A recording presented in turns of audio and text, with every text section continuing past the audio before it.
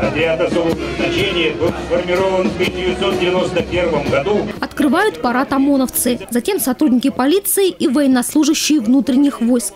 В этот день они несут службу в парадной форме. С 2011 года 10 ноября – это день сотрудника органов внутренних дел Российской Федерации. Раньше этот праздник назывался День советской и позже российской милиции, но суть не изменилась. Это праздник тех, кто охраняет нашу безопасность.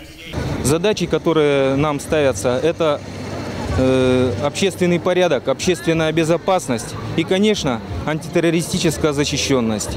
Вот э, эти задачи мы выполняем.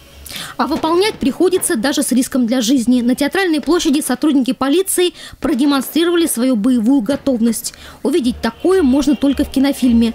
Полуторагодовалый Богдан Минаев тоже, по всей вероятности, будет как папа и дедушка полицейским. Он еще не умеет говорить, но уже чувствует, когда тревожно его маме.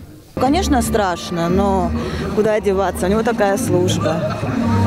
Конечно, когда командировки отправляют, тоже страшно. Супруг Елены Михаил Минаев служит в ОМОНе. Сейчас в отпуске, но сегодня пришел на площадь всей семьей поздравить коллег с профессиональным праздником. А поздравлений сегодня звучало достаточно много. Благодаря профессионализму и мужеству работников правоохранительных органов мы можем чувствовать себя в безопасности.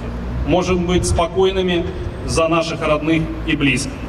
Администрация города Сочи всегда будет содействовать тому, что сочинская полиция работала в комфортных условиях.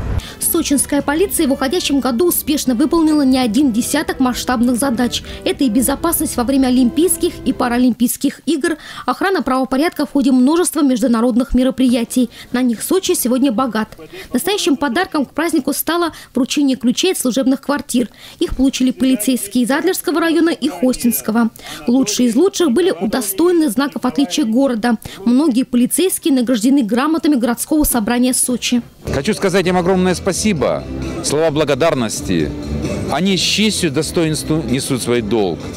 Они люди в душе патриоты и пошли по сердцу и призванию своему. Ну и ни один день сотрудника органов внутренних дел не обходится без праздничного концерта. Сегодня на сцене Зимнего театра выступали как сами сотрудники полиции, так и творческие коллективы Сочи.